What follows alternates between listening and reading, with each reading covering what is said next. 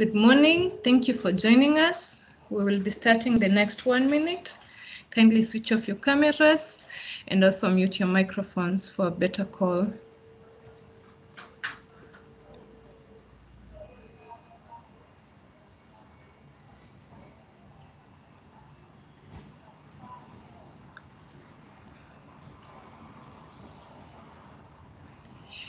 We will be starting the next one minute. Kindly switch off your cameras and mute your microphones.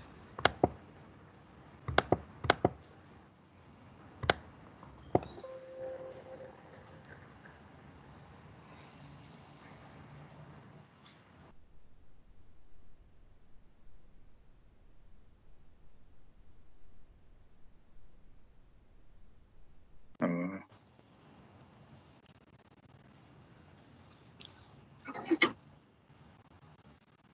You can start. Good morning once, once more. Welcome to the German Vocational Trainer Qualification. Uh, this, in a local context, we call it the training of trainers, but on an international level. My name is Esther Ndishu. I'm a project manager at the, at the German Chamber of Commerce here in Nairobi. Uh, we will start with introduction of our presenters. On my left is uh, our team lead uh, at the Vocational Training Department of the German Chamber of Commerce, Mr. Bruno Backes, and also he's also the team uh, he's also uh, the team lead in the Skills Expert Program at uh, the German Chamber of Commerce. Mr. Bruno Backes, could you say hi? Hi, everybody. Uh, on my right is uh, Mr. Peter Njiru. He's the Senior Industrial I'm not Officer seeing these people. From the National Industrial Training Authority. Mr. Peter Njiru, could you say hi? Good morning, everyone. Good morning, uh, Peter. And on his right is uh, Mrs. Jacinta Bangi from uh, Kibondeni College. She's the deputy principal. Uh, Jacinta, could you say hi? Good morning, everyone. Jacinta? Good morning, everyone. Okay, good morning. And then last but not least, we have uh, Ms. Amelik Vawil, who is the group training manager at uh, Tamarind Group. Amelik, could you say hi to the participants? Good morning, everybody. Good morning. Okay, so um,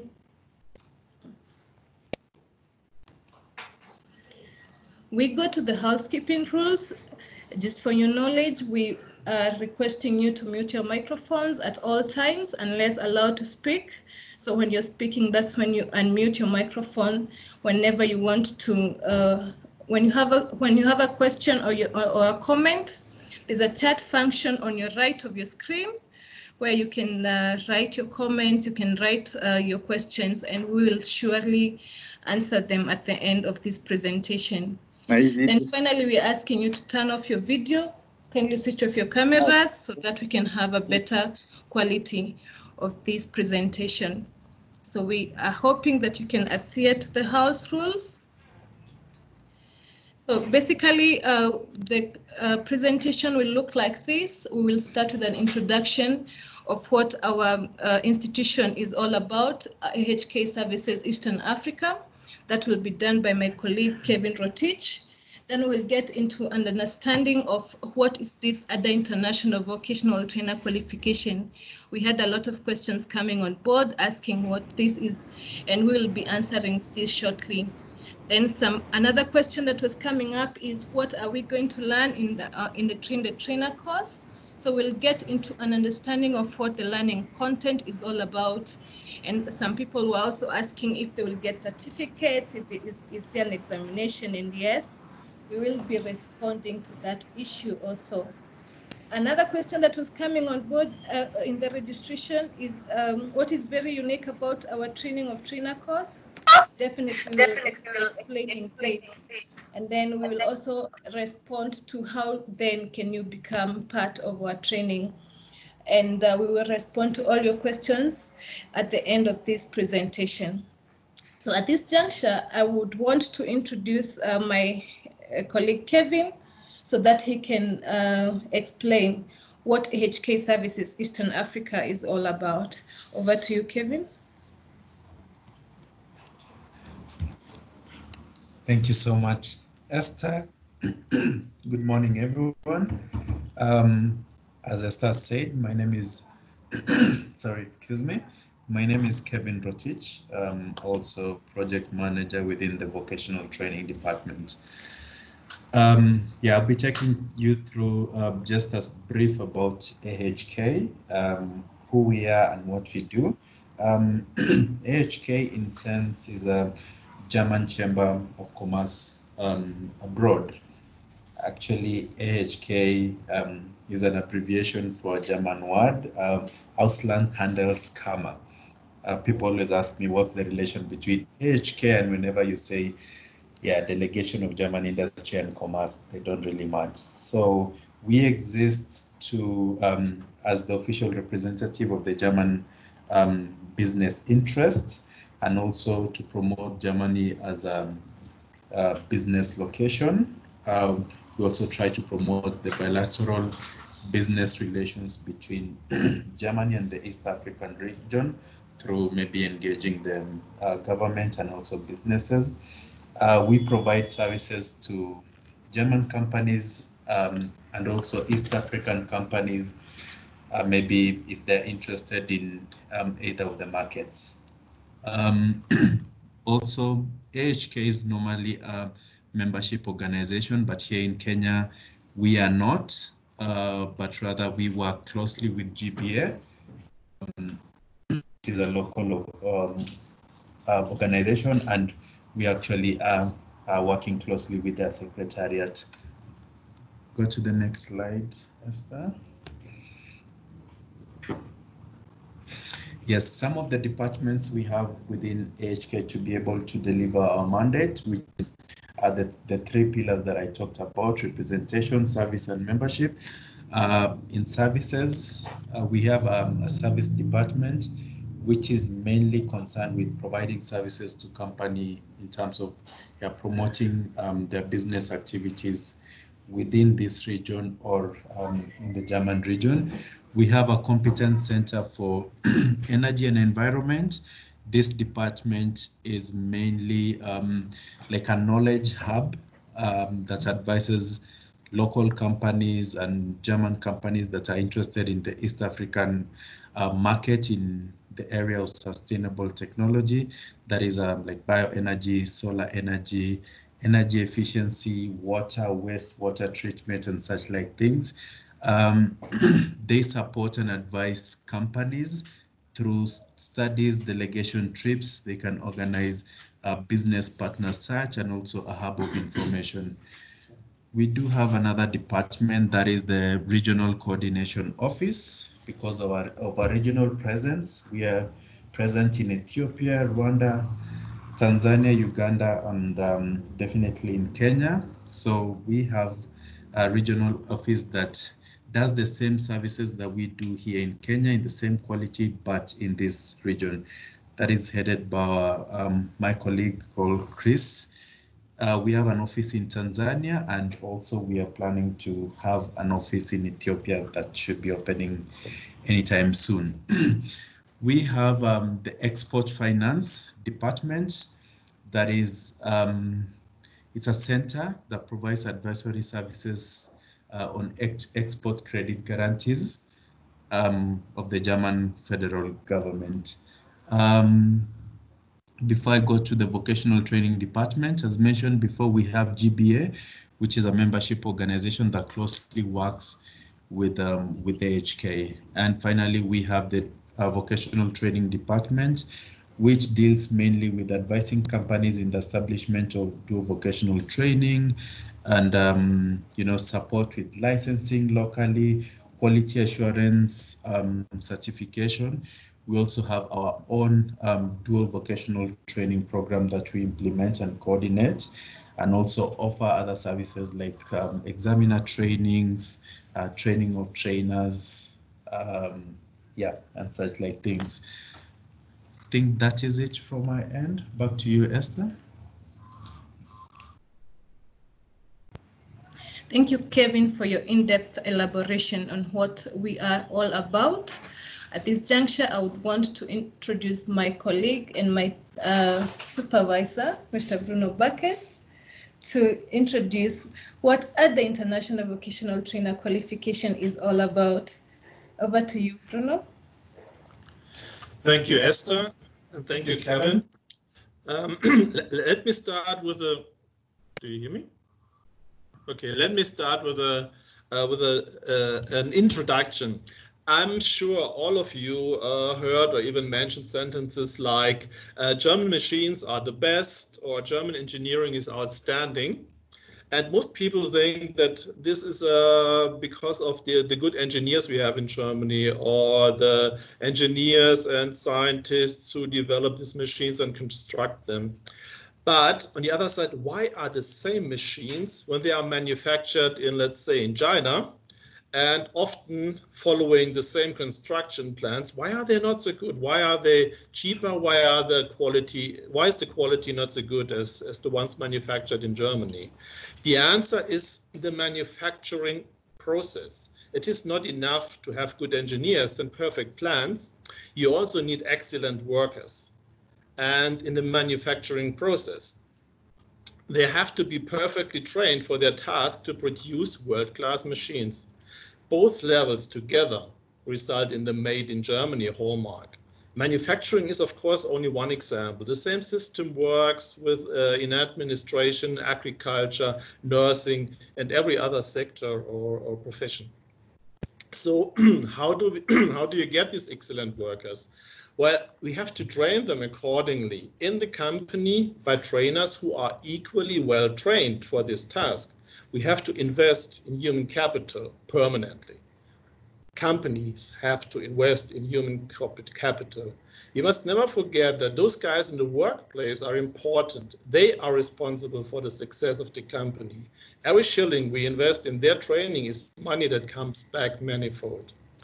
And because we realize this in, in Germany, uh, the, the system is that the training is almost seven, the, the practical training is all, only happening in the companies. And so um, because we started this kind of training decades ago, actually you can say centuries ago, we are concentrating on some, somewhere should someone should mute his mic nelson um, okay, now I'm, I'm out. Okay, um, the dual training means that the companies are the training venues for the practical part of the training. And because this is the, the case, the training, the trainees need to be qualified adequately. And so we started early to uh, realize that only a good trainer can train a good trainee or uh, a trainee that will become a good good employer, good worker. So we invested, or actually not we, by we I mean the private sector invested in the training a lot of money, many millions of euros every year, because the company know that they have to focus on their human capital, on their trainees. And the trainers in Germany are not full-time trainers. They are usually just doing their job. They are well well skilled uh, laborers, well skilled employees. They know everything about their profession. They're working they're working there for for years, sometimes decades. But what they don't know is how to pass on their knowledge and their skills to the next generation. And that's the reason why we need to train them accordingly. We need to teach them uh, how to, to teach, how to train, which training methods there are, how to pass their knowledge on. So um, this is why we developed over some decades this training course, this training system. Uh, it was meant and done for, for sorry. Okay. Um, please please mute your, your mic. Um, this training course, this training system is Ian Carl, please. Okay, um, we adapted this training system from the German um, from the German um, special needs to international needs. We we adapted it to the Kenyan circumstances. We adapted it to to many other uh, different countries all over the world. For it's the same system that works in, in, in South Africa, in Ghana, in, in Nigeria, in Vietnam, in Indonesia, wherever. Uh, we just took out the, the German aspect of it and we adapted to the to, to the circumstances in the, in the in the country. In this case, in Kenya, and so we are now providing this seminar on an international level for the Kenya for the Kenyan well TTIs, private companies, whoever is interested and whoever is involved in training. Every stakeholder that is involved in training is one of our presence. Okay, that's from my side so far. Now I hand over to you, Esther, again. Thank you. Thank you, Bruno, for taking us through what exactly the ADA International Vocational Trainer Qualification is all about. The first time I got to learn what is ADA, I never thought that ADA means uh, training of trainers until I got to AHK and I learned the German word ADA. Moving on, uh, people will ask, what will you train in this? What exactly will you train in this training of trainer course? And as Bruno mentioned, that this training of trainers is well um, connected with the dual system of training uh, because no one, uh, for a dual training system to happen, one uh, activity that happens is training of trainers. And uh, in this training of trainers, remember that uh, if you attended the dual vet webinar is that the training happens in two uh, places. That is in the school and also in the company. What we are practicing here is that uh, students will go to school three weeks no uh, one week and go to the company um, one week.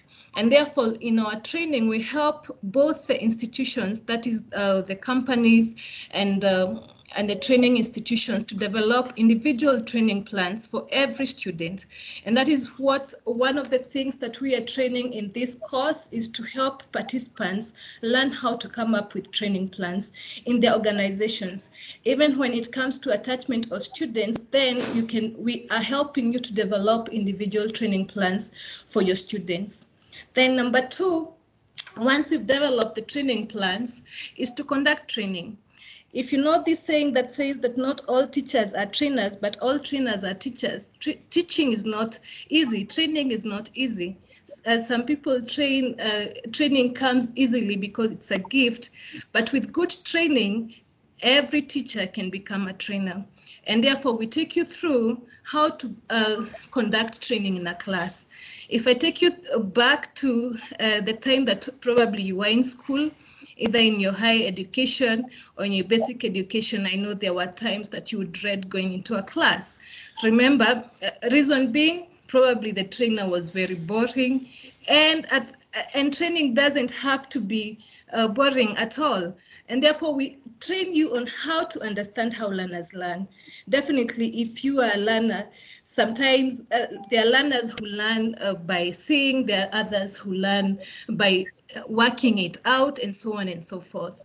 And then we train you how to deploy suitable training methods definitely you cannot train a practical using a lecture so these are the things that we are training you in our training in our train the trainer course then we ask the, the, the third step is complete completing uh, completion of the training how do you evaluate your training sessions?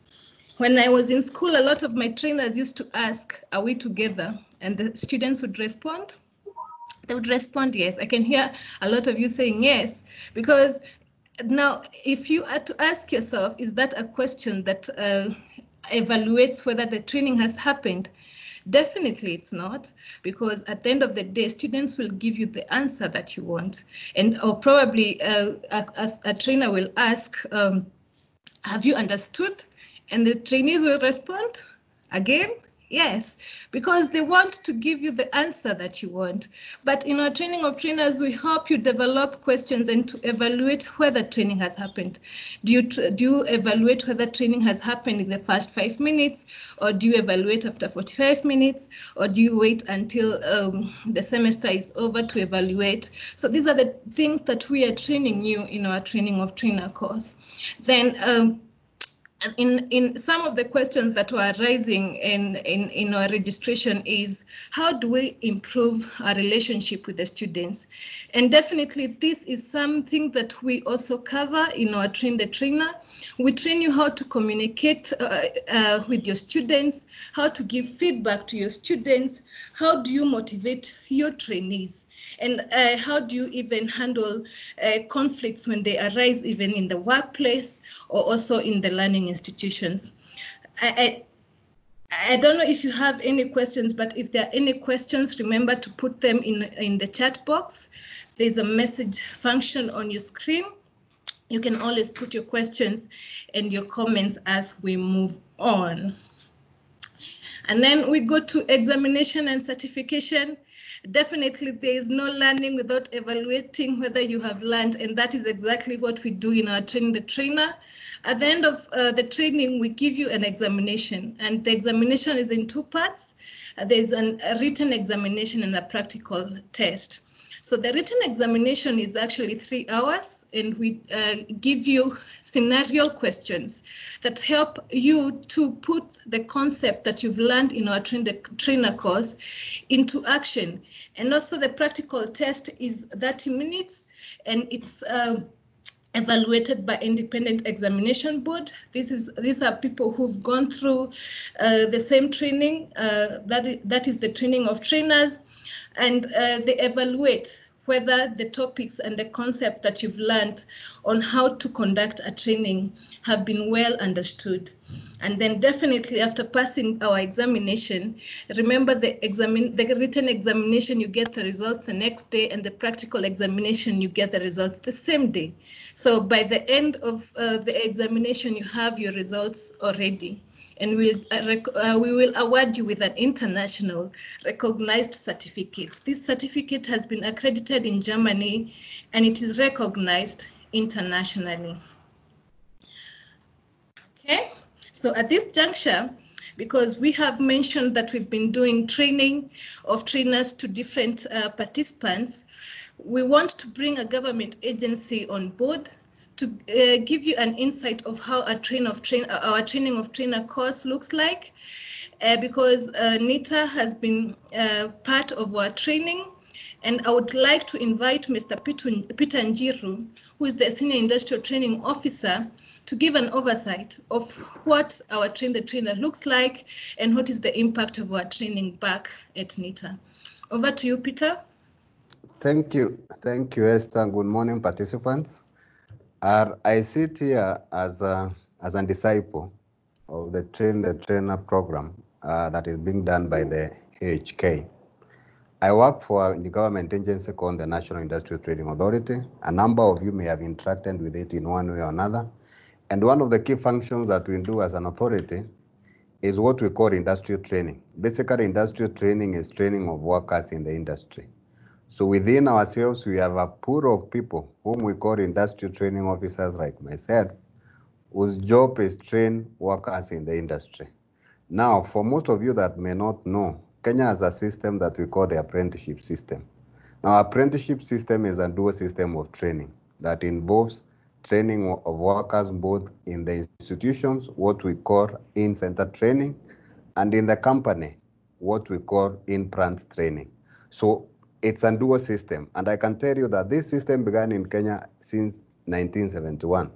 But in terms of acceptance and growth, it has taken some toll for it to be where it is. Why did they do that? We came to realize that uh, we had trainers who had the wrong exposures. As Esther said, we assumed that all teachers are trainers.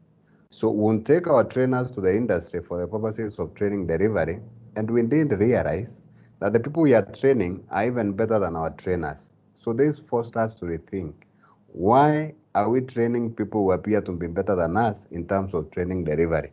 until we came along the AHK Foundation. I can tell you things have changed since that day. We sponsored a group, of trainers, I think there were about 10 last year, to undergo the TOT, the two-week TOT course. All of them uh, successfully got the international certification. And this is what we came to realize when we went through that program. It is one thing to train a person in a classroom. It is our own different thing to train the person in the industry. Kenya has dynamism in terms of companies. We have local companies, we have international companies. So we are working with people who have all this exposure as workers and as trainees in the various dimensions. So here you are taking a person who only graduated probably through KTTC, and you are assuming this person is a good trainer for the workplace. And we realize we are wrong on that very, very concept. So what the industry did, the industry moved away from our vocational training institutions, from our industrial training institutions, and they began relying on their own workers to train their own workers.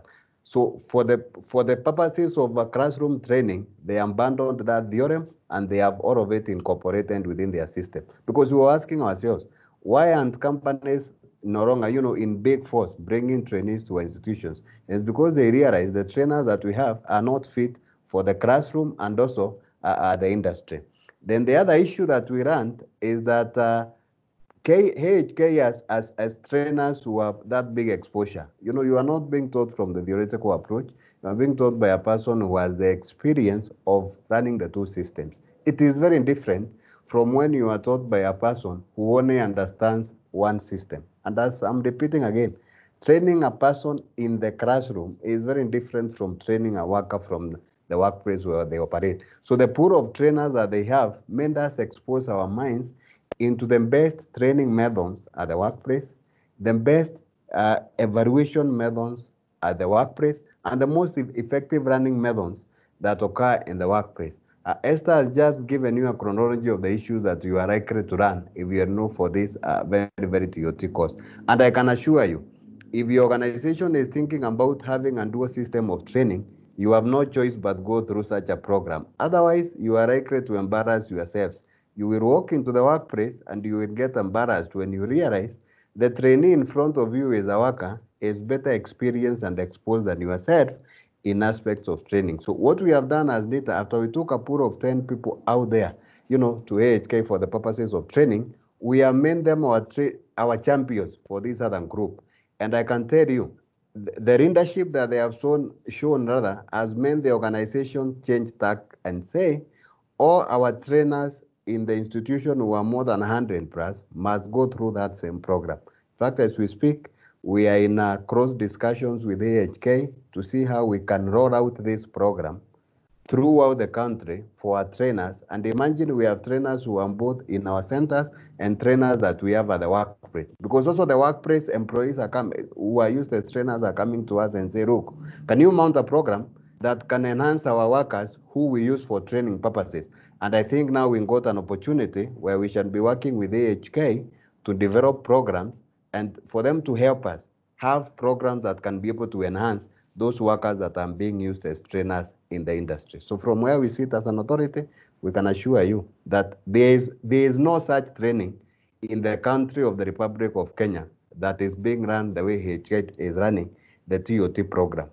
It- and I, I'm, I'm saying this again, all our trainers have gone through all those teacher training programs that all of us and most of us who are listening to me may have gone to. However, most of them realize that they are so deficient when it comes to training of workers in the industry. But now we are changing that dynamism. As we sit here, we are trying to review our programs within the confines of the Kenya National Qualifications Authority, but also we have we, we, they are faced with our challenge of we are taking to them due dual-based programs where we say we have this program that is running for one year, but the component of this is taking place in our center, another component is taking place at the workplace. And also, those of you that may have been there last week, they were validating the, the standards for registration of qualifications. And one of the issues that we are asking ourselves is, when you put standards for a trainer, if you say that maybe a person who is training must be higher qualification, higher than the person that is being trained, on what lenses are you you looking at that? Because at times you go to the industry, the people in the industry may not have the paper qualifications that you have from your schools and the rest of it. But in terms of industrial exposure and ability to deliver, they can only teach you irrespective of your qualification. So we, we are cross-looking at that to see how we admit formally the trainers that we have in the industry as former trainers in our own environment. And I think working, working closely with AHK will help us achieve that role. So in a nutshell, Esther, for my two minutes or three minutes, I guess I've, uh, I've answered the issue that I was meant to answer. Thank you. Thank you very much, Peter Njiru. I think it can never be put better than the way you've put it, that there is no other training uh, that uh, in the country than the one that we are um, conducting as AHK. Actually, when we have been conducting our training of trainer courses, one challenge that we have been getting from the industry is that the trainers from the industry went through the same system. And therefore, even as we expect uh, quality training in the industry, definitely the training uh, has to start from the industry even before we bring it to the school if we need quality training. Thank you very much, Peter. Uh, going on, moving on to the next slide.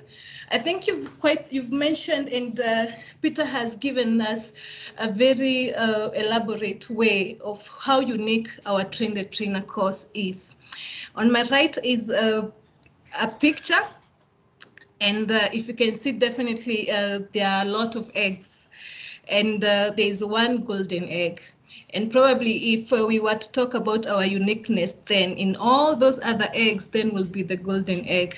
Um, I'm not talking about the golden egg whereby the farmer who had a gold, uh, who had a goose uh, who was producing golden eggs decided to kill the goose so that he can get all the eggs. No, we are talking about the uniqueness of our training.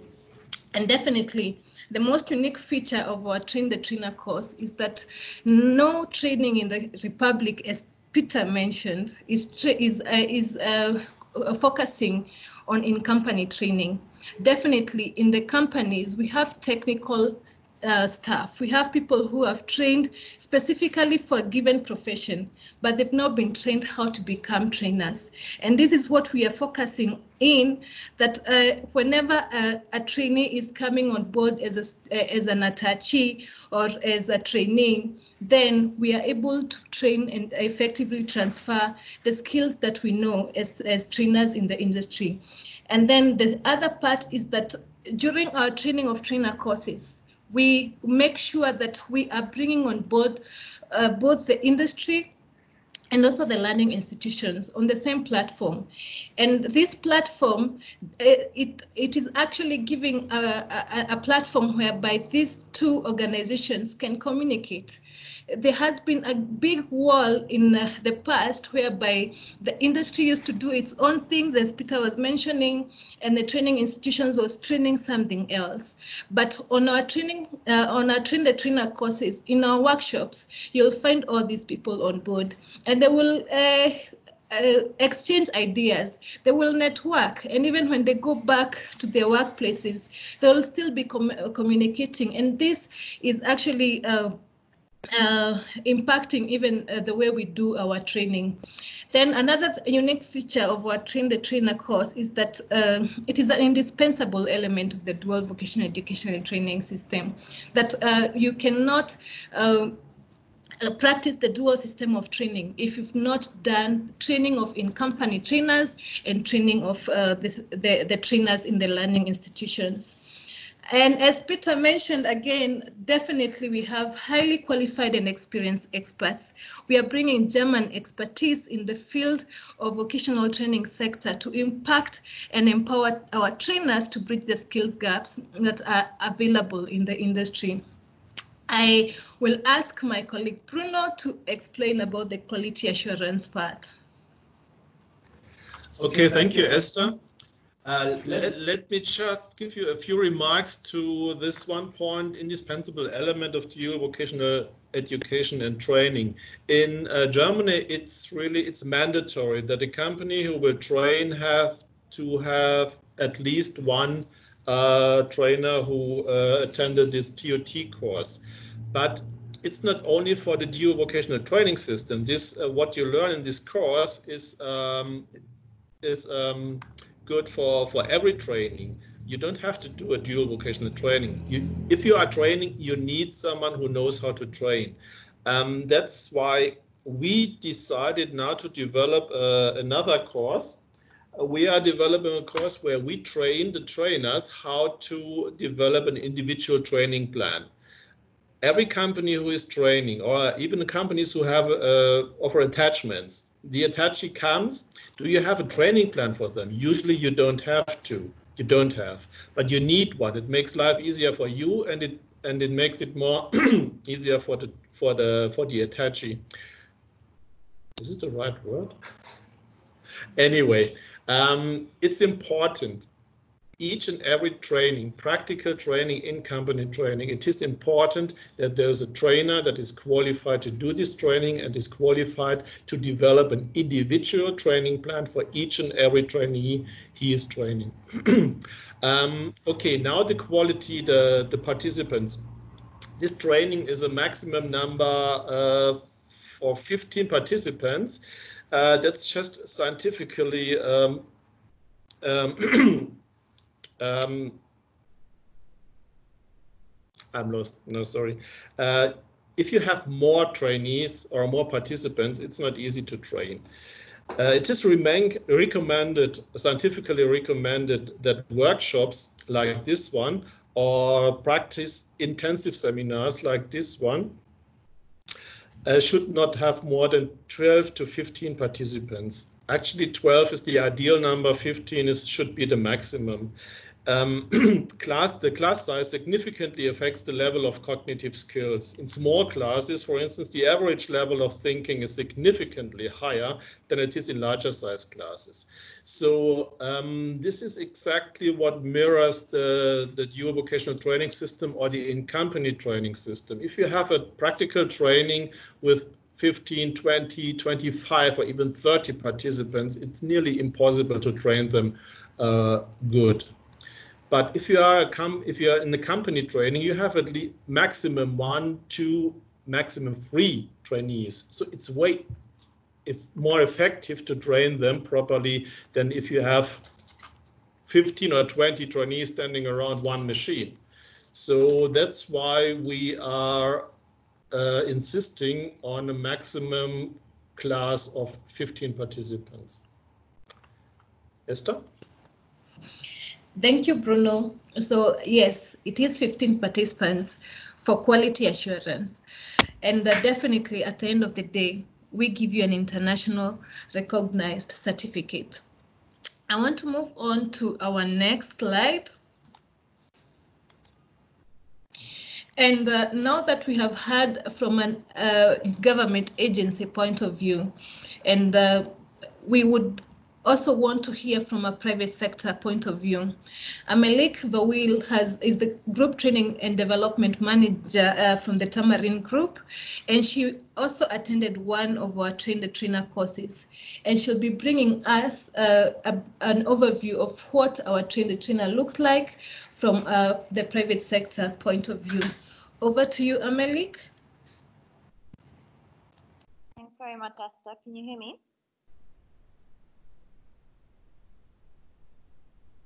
Can you hear me, Esther? Yeah. Okay, great. Yes, I can hear you. Super, thanks. So good morning, everyone. Um, firstly, thanks to the AHK team for facilitating this and for inviting me to take part. And thanks for all of you joining uh, today's webinar. I hope it's going to be a useful session to you. Um, I completed the 10-day TOT course last year, and I can say that it's been one of the most useful and thought provoking courses that I've taken as a training professional. Um, it wasn't just fun and engaging, um, it attracted people from all industries and learning institutions. Um, we've also managed to keep in touch uh, over WhatsApp uh, and drawn a lot of strength and inspiration from each other over the last year. Um, but the course was presented incredibly professionally the information and the techniques, the tools that were shared with us were all very cutting edge. Um, and they're very applicable to any company that trains team members or takes on trainees in any capacity. Um, I completed the course with a really refreshed view on how to tackle training within our organization. And we're a hospitality organization. We've been around since the early 70s. Um, and dealing in hospitality, obviously, um, we deal with a lot of trainees.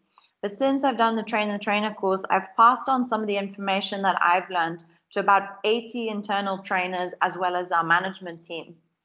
And in hospitality, we're always training. We constantly hire new staff. We hire a lot of casuals, whether it's for a few days or for seasonal work. Uh, we face new government regulations. For example, right now with COVID, we're facing new government regulations every day that need to be trained on. Uh, we get new products and new items that we'd like to sell to our guests. We also welcome a lot of students who join our workplaces for experience. So our industry, because it changes so quickly and there's so many trends within the hospitality industry, that really the only way for us to keep on top of it and to stay on top is through training our team. Uh, so just like Bruno says, um, you know, as much as it's not it's not necessarily only linked to dual vocational, but if for any of your internal training, this is also incredibly uh, an incredibly powerful training to do for any of your internal trainers. The struggles that we have within hospitality is that it's very difficult to find the time to train. That can be one of our biggest challenges. Seeing past busy operations, long hours, tiring shifts, and focusing then on training plans can really be a challenge for some of our trainers and managers. But the tools that I was given and that have been shared through the Train the Trainer course gave me um, a really well suited sort of package of, of techniques and tools that are great for the fast paced business environment that is hospitality. Um, the tools, training methods, techniques that were passed on are very simple to use, they're effective, and they reduce the amount of time that we spent on training because time seems to always be a factor uh, when we're dealing with um, hospitality. And this is because the training course uh, that the AHK hosts teaches you how to plan, to structure, and how to execute training in a way that's very suited to specific learning outcomes, as well as specific types of learning and specific types of learners or trainees. So, what I was seeing before um, was a lot of time spent trying to hammer in information when we were using the wrong techniques to train that information. This resulted in time wasted, frustrated trainers, uh, frustrated trainees, bored trainees, and the consequences of that are not just bad for our internal guests, but for our external guests that visit our restaurants and hotels. So now, when we focus on training that is more short and more effective, I can see a lot more training happening in our restaurants and hotels. And that's always a big win for us. I see improved motivation and confidence to train. I see a greater desire and ability to pass on knowledge effectively. I see a better quality of training. I see a better culture of feedback. Um, and I see improved documentation around training, which, if you're in an HR role, you'll understand that from an HR and a legal perspective, documenting what it is that we're training and how it is that we're training is becoming increasingly important. Um, in general, what I've seen training change to within our organization is that training has become less lecturing, more doing, and more fun. And training has become contemporary, engaging, hands on, and relevant to our daily operations. Um, and I'd just like to uh, take just one more minute of your time to look very quickly at how we work with training schools and learning institutions. And as an industry, I think we still have quite a long way to go in terms of how we treat students who come into our workplaces for learning, training, coaching, mentoring. Instead of looking at students as cheap labor, which I hate to say is very common practice in the hospitality industry, we need a mindset shift to thinking about how we develop talent in our sector as a whole. And how do we attract this young talent into our, into our industry? And how do we keep it there? You know, the last thing that we want as training professionals is to have students change their course of study because we've given them a poor workplace experience. When we bring students into our workplaces, we really need to take a better look at an, a holistic approach and looking at how we can recruit those students after they've completed their studies. but that's the only way to do that really is by giving them a great learning experience and training experience in our workplaces. So we're not just elevating the standards within our own restaurants and hotels, but we're elevating the quality across the industry. Um, and we're doing this while we're reducing our recruitment co costs. So especially in times like these, that is what our training needs to be focused on. And it's the only the only thing really that's going to get us through uh, this and, and through this crisis at the moment. You know, we have to remember that the youth is really hungry to learn, to grow, and to develop, and that with training te techniques that are fun, engaging, and challenging, will keep them keen to stay in this fantastic industry. Um, thank you for your time. That's that's all from me. Thank you very much, Amelik. Uh, I think it's never easy to uh, work with young students and to make them uh, stay, especially in learning, but with the right training methods and knowing what uh, to keep them busy, then at the end of the day, you'll have uh, talented students and talented employees. I want to summarize your presentation in one slide uh, my colleague tells me it's not a wheel, but I would put it as a wheel. So um, from from a, a company point of view, empowering trainers to bridge skills gaps.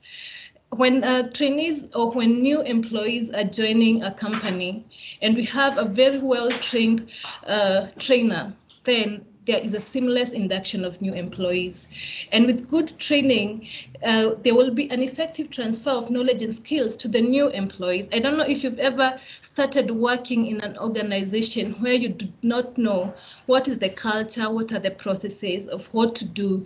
But with good training and a good trainer, you fit in in an organization very easily and very soon you understand the uh, processes that happens in the company.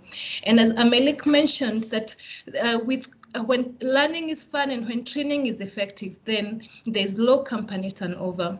And when there's low company uh, turnover and you have uh, very competent employees, then the productivity is high and your company have a very good competitive advantage. And when you're talking about uh, high productivity and competent employees.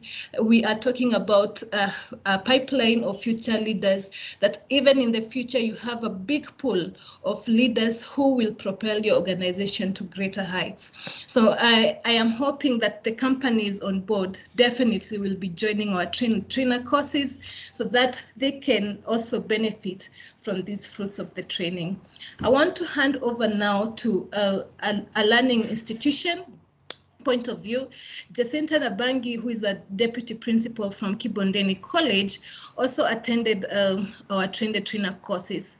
And I have to mention that Kibondeni College is our sister school or it's our partner school uh, for the hospitality course that we are offering through, through the dual system of training. And we've trained quite a number of trainers in Kibondeni College, and she'll be giving us an overview of what exactly is happening after we trained uh, their trainers. Over to you, Jacinta. Thank you, Esther. Good morning once again, our guests. Um, my name is Jacinta Nabangi, as you've been told, the deputy principal, but most importantly, the trainer in Kibondeni College. Um, I have been in the teaching profession for quite a number of years, over 20 years, or over 30 years I've been uh, teaching.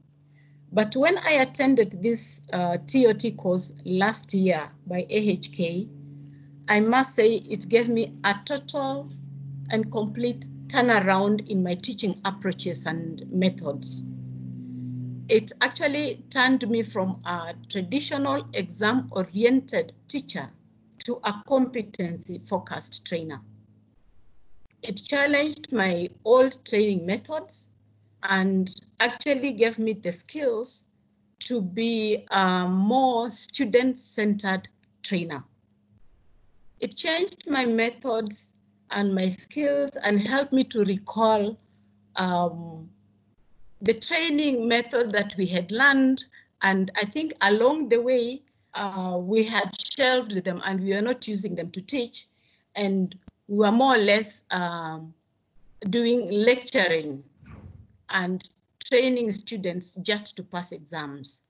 But this training has made us focus more on making or producing competent trainees because we have to train for the industry. And you cannot train for the industry to produce someone who will just pass exams. They have to acquire the skills. And in order to do this the TOT course helped us to realize that in our planning the teaching programs we have to have the three learning areas very much at the fore of our minds as we plan our training plans. And that is, we must think very seriously about the knowledge. We have to think very seriously about the skills, and we have to think very seriously about the attitudes of the learner that we must harness in our training. And this has turned all of us. We trained, we were about uh, three of us who attended this course at the beginning.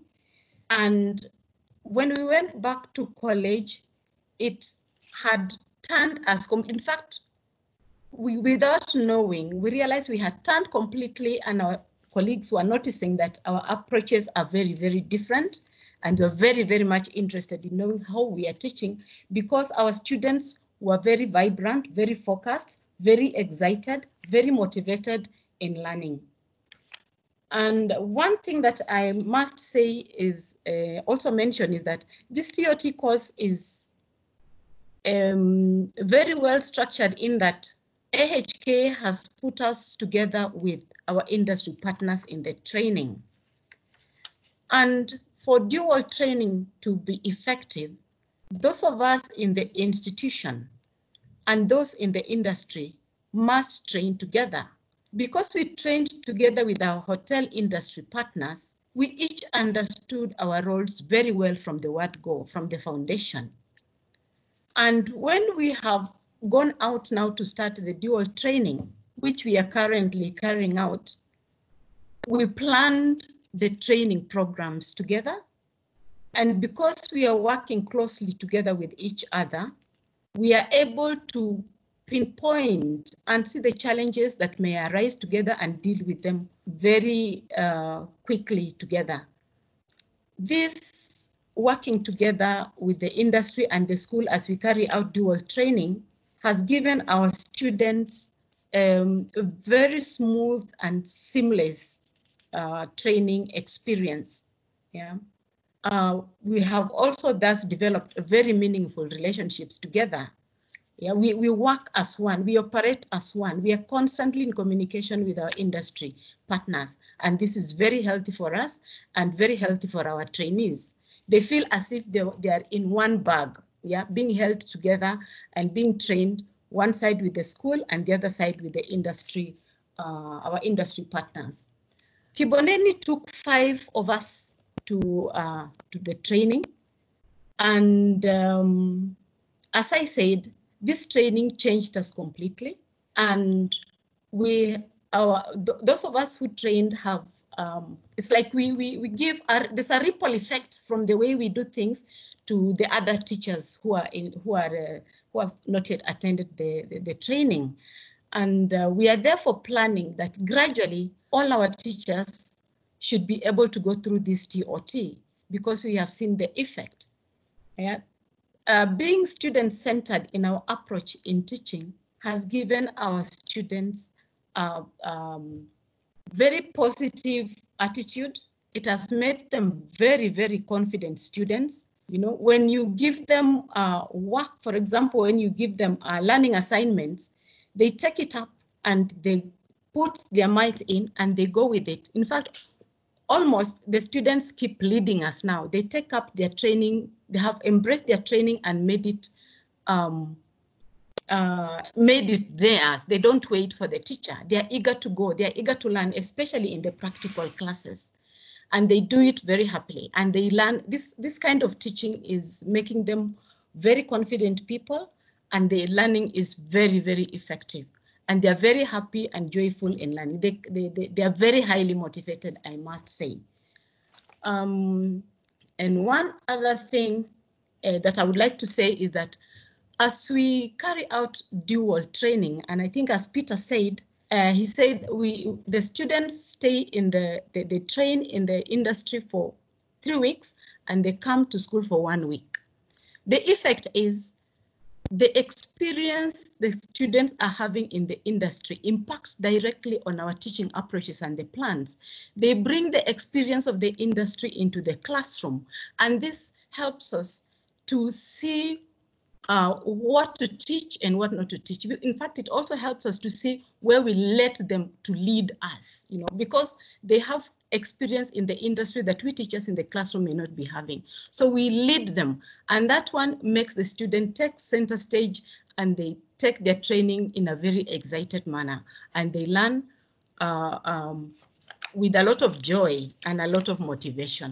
And it's a very, very, very fulfilling, very, very fulfilling uh, um, um, moment for the teacher when the teach when the students lead their own training. And that's what has made us realize this is what it exactly means to have a student-centered training. They actually take it up and run with it. I think that's what I have to say. Thank you very much, Jacinta, for your elaborate uh, explanation on our TOT course.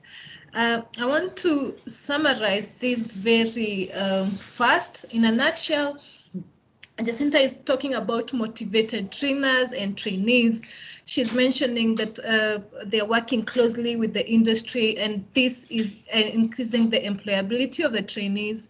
Definitely with uh, a class being fun, then uh, you will find that uh, student retention is very high uh, word of mouth goes very uh, fast that if um, a student if a school is uh, doing very well and the students performance is very high then the next year you'll get a lot of registrations from students and you know students uh, peer, peer groups uh, influences a lot when students are doing registrations. I want to go now to the part now how do you uh, join our train the trainer? A lot of people are asking questions on the chat box. How long is the training?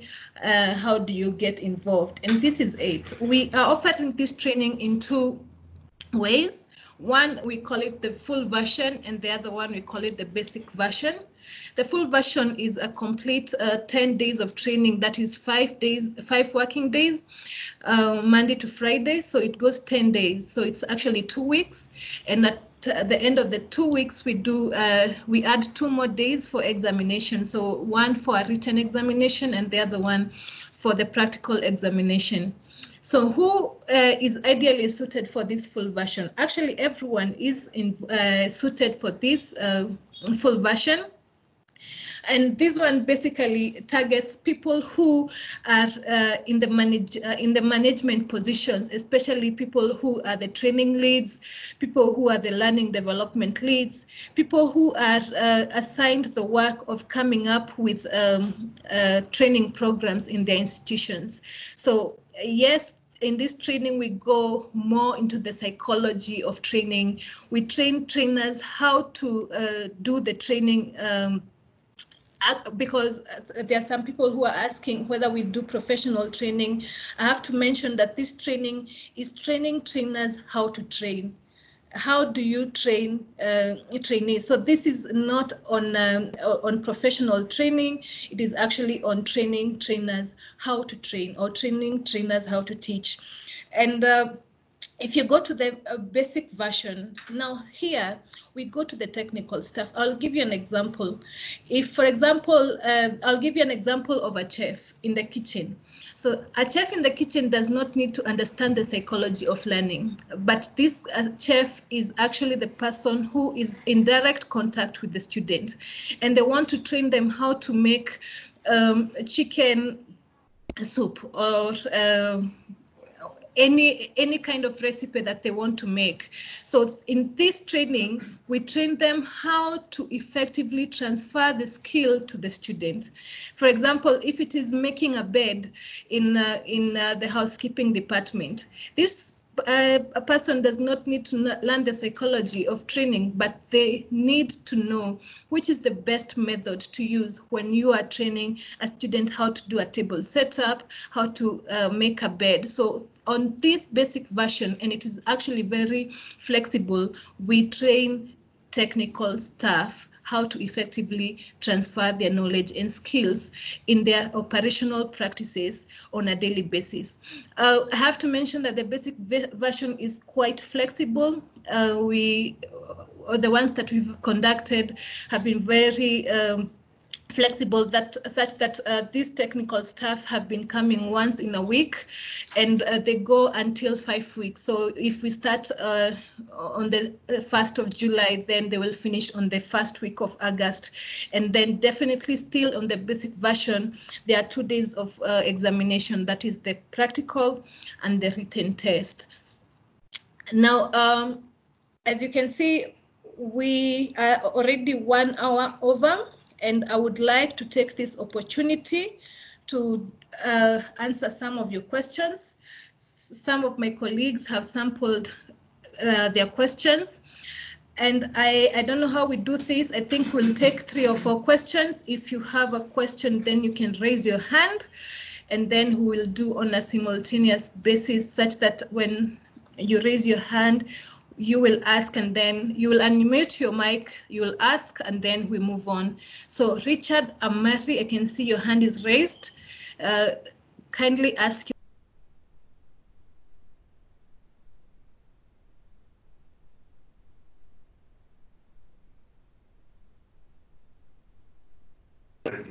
What's in the chat?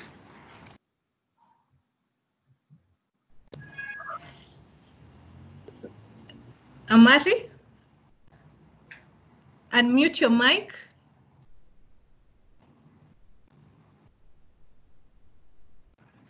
Richard, okay. Yes, can you hear me? Yeah, we can hear you now. Uh, thank you very much for this opportunity. Um, actually attended the last week's uh, webinar on dual vet. I'm happy also to have participated in this. Um, I just wish to uh, to know uh, how can the uh, training institutions like the TVET institutions be incorporated into this. Okay, partly you have uh, answered this through uh, the requirements like the trainers must undertake the TOT program. But apart from that, are there any other requirements for the training institutions? Thank you. Thank you very much, Richard. We will be answering your question shortly. Let me take another question um, from. Um, I had seen Brenda Chebet raising her question. Brenda? Good afternoon, everyone, and it's been a great pleasure to be part of this webinar. I have a question regarding what is the requirements. I, I see that there are two options for the basic trainer and the other options, the 10 days and the five days. What are the requirements for somebody to attend those trainings and what is the cost implications? Thank you. It's been a great session. Thank you very much, um, Brenda. We'll be answering your question. Chris, TTI?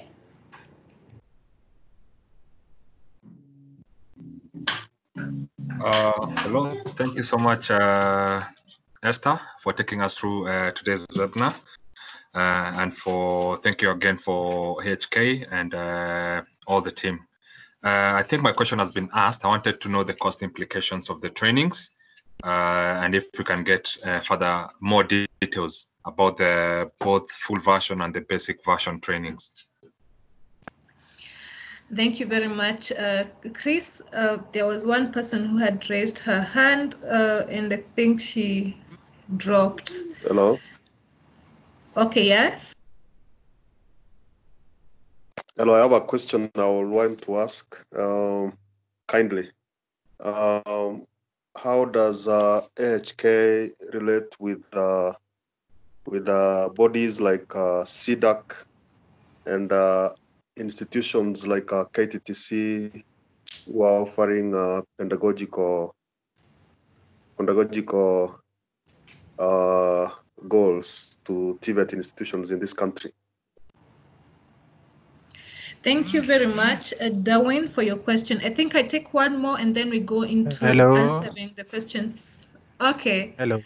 Yes. Uh, this is Festus Rotich. Um, well, um, I, I would I would wish to know if there is any arrangement by AHK uh, that they can conduct trainings uh, uh, regionally. I, I- by this I mean uh, moving around the country or something like that, or selected regions. Thank you. Thank you very much. Um, I want to close the question session unless there's any burning questions so that we can go to answering the questions. Is there one more burning question? Jared.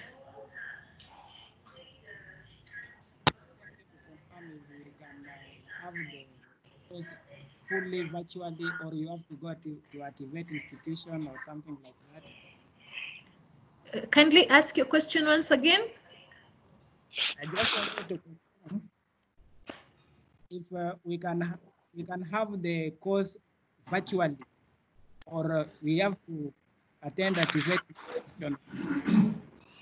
Okay, so yes, um, your question will be answered uh, uh, if I get you right. If uh, we can do the quest, uh, the the courses virtually, or it has to be face to face.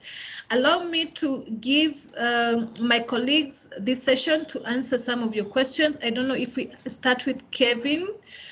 Uh, yeah, for the next uh, few minutes. Kevin, over to you. All right, thank you so much, Esther.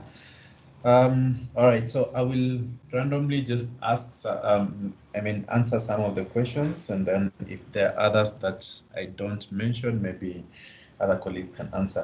So the first question was about um, how TVET institutions can collaborate with us and if there are any special requirements. Um, the answer would be um, no, you don't need to have any uh, special requirement um, if you're a trainer within a vocational training institution to take part in this training. If you have interest um, and you have the time, then yes, you can, um, of course, be part of this training.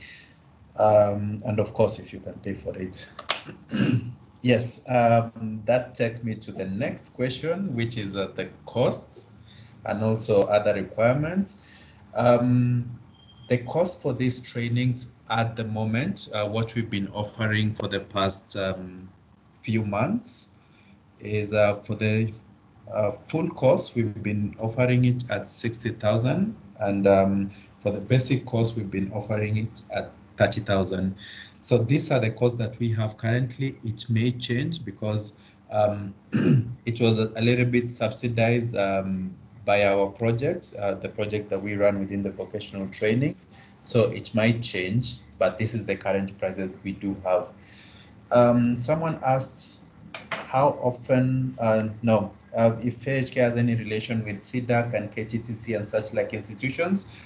Yes, we work closely with um, these institutions uh, because um, even though um, this is a totally different system of training that we have currently in the country, we still need to be in line with what um, the Kenyan government uh, requires and what would uh, easily be integrated within the vocational training sector.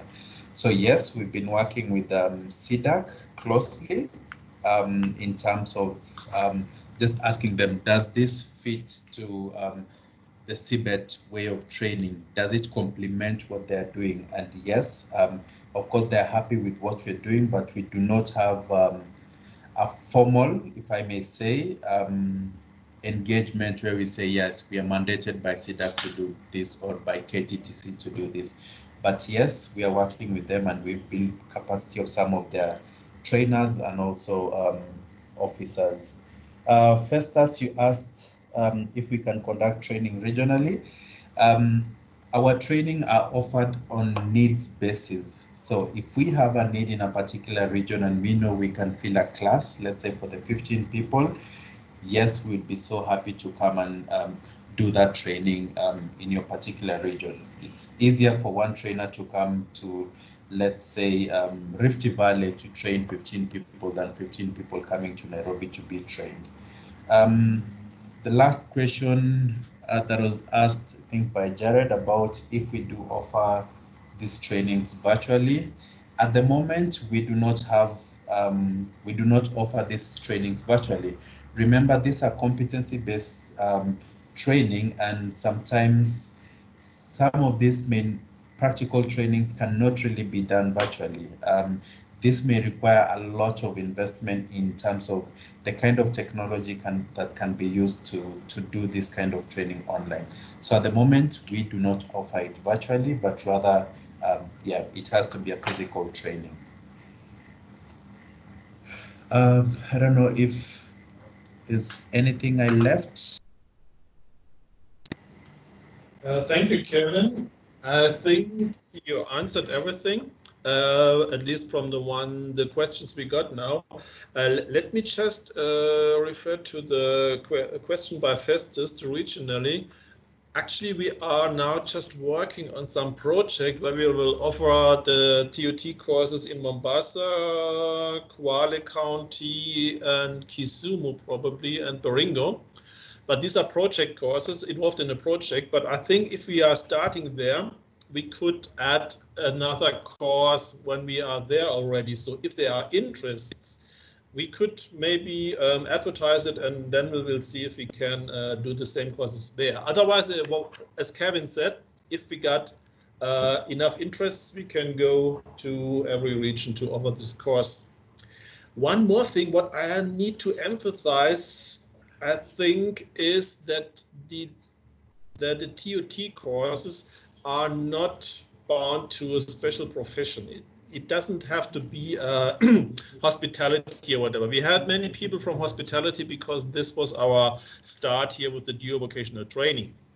So this course, these courses are directed to everyone who is training, no matter what what what the profession is or the, the background or whatever. The only thing that is important, of course, is you can only train if you have some knowledge. So you have to be experienced. You have to have a training by yourself. You have to have uh, you have you need to work in in, uh, in a special profession for for many years. You need the skills to pass on uh, before you learn how to pass on them. So that's the only condition you have to fulfill. I think, wait, there was one more question. I don't know if it was written before. I think it's quite good question. How do you ensure the training is fun, engaging, and challenging? Well, there's only one answer for this question. Join the training and you will see. Be surprised. Thank you. Thank you, Bruno. Yeah, definitely there's only one way of knowing uh, whether the training is fun, challenging, and it's actually um, a brain um, storming. So um, because of time, I will uh, allow Kevin to answer two questions that came from the registration form when you guys were registering. Only two. And then uh, if you have any question, kindly uh, note it down on our chat box function. When we are uh, sending out um, the uh, recording of this um, webinar, we will also send an Excel sheet that has your responses to your questions. Kindly uh, note them down on the chat box function and we will respond even uh, when we are sending the um, the recording of this webinar. Over to you, Kevin. Yes, Esther. I was looking at these questions and I think we've answered most of them. Uh, we've answered about the content. We've answered um, if we are planning to do uh, trainings virtually, which is no. Um, actually, we did have some trainings that we had planned. Um, we had a training calendar um, for this year, but due to COVID, we had to cancel most of them until further notice. Um, Yes, I think most of the questions that I see um, that were, were, were answered, uh, that were asked during the registration are answered because it's about qualification, the course and such like things. But if I may maybe talk about one question from the chat function, if um, yeah, one one person asked about if um, our certificate can be equated with the KNQA.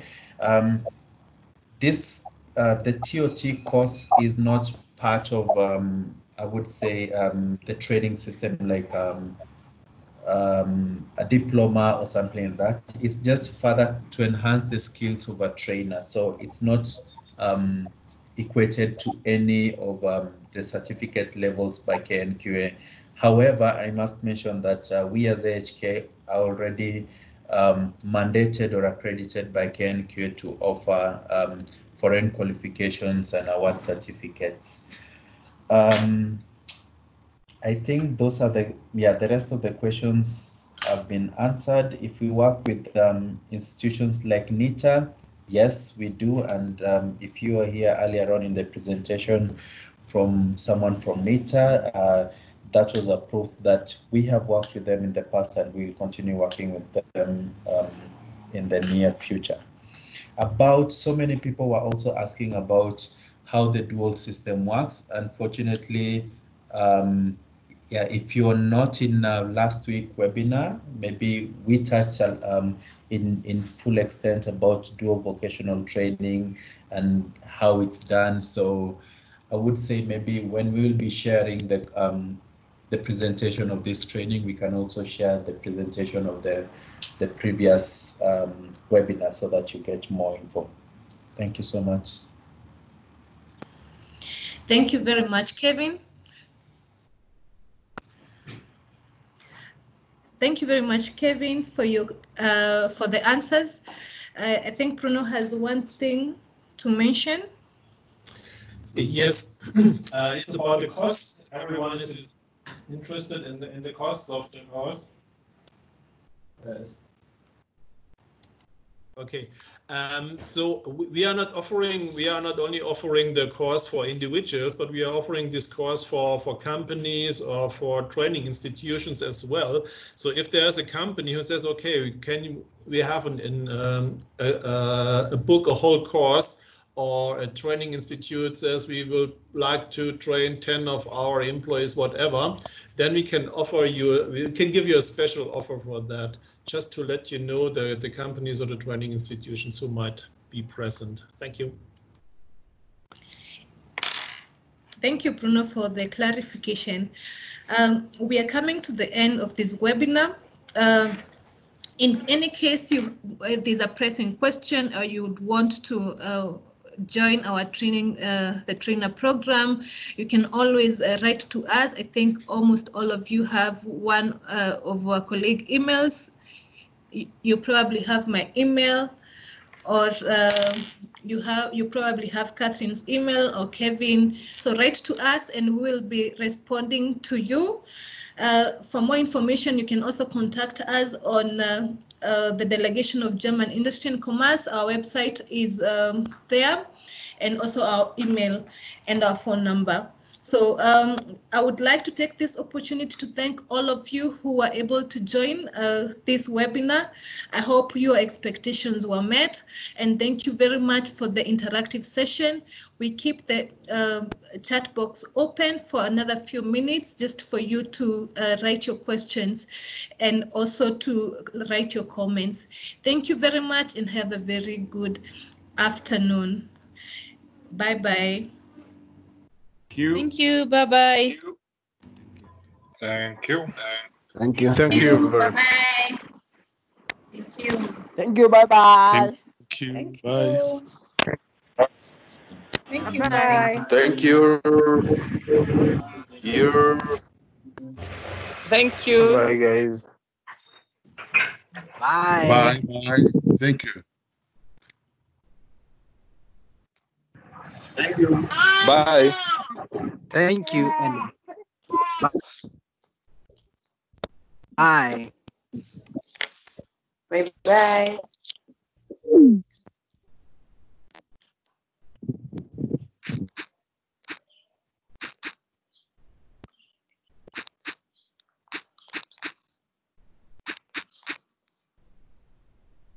you.